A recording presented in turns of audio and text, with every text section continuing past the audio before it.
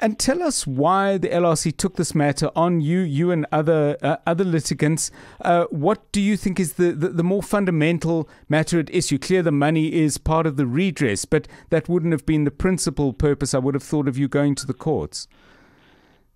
So this case was um, to challenge the unlawful and unconstitutional conduct of the trust and the board of the trust in watering down the rights of the residents that had enjoyed customary and informal rights and security of tenure on this land for generations by reducing them to mere tenants. They suffered hardship. Uh, they were forced to pay rents that they could ill afford. They were forced to survey their land.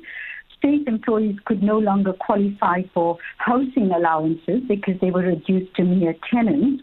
And women, particularly uh, living under the traditional leadership systems, were forced to actually um, share their rights to the property with men that they sometimes did have had no intentions of having long-term relationships with because the leases had to be co-signed by a man. News. Experts. Analysis. Where things stand. What you need to know. Drive home with John Perlman on 702.